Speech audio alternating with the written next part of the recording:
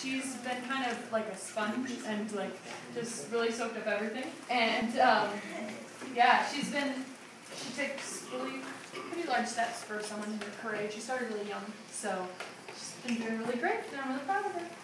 So this is my